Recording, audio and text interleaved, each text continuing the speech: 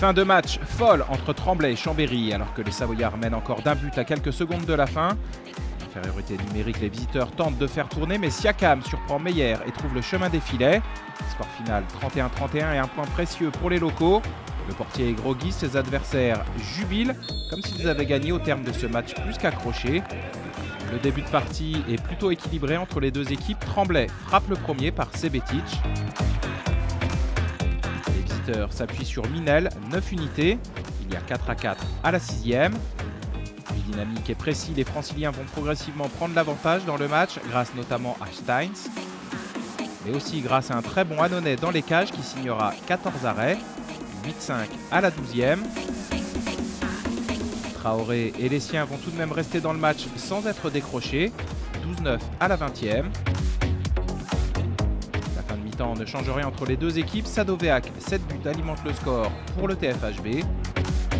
Meyer, de son côté, soulage les siens. Et à la pause, il y a 18-15.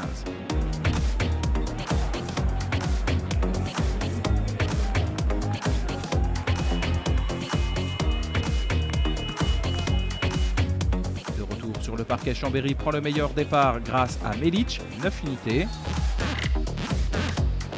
Les locaux sont moins tranchants et les visiteurs jouent le coup à fond, tel Meyer. 19-19 à la 34e.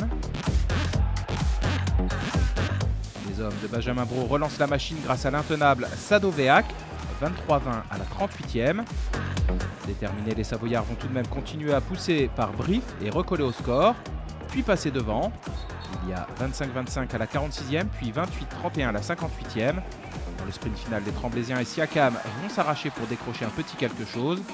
L'arrière gauche ramène d'abord les siens à moins, puis va trouver une dernière fois le cadre après son interception. Tremblay est 11e avant d'aller à Massy pour un match de feu. Chambéry est 9e et joue ce week-end à Lublin en Pologne pour la Coupe EHF.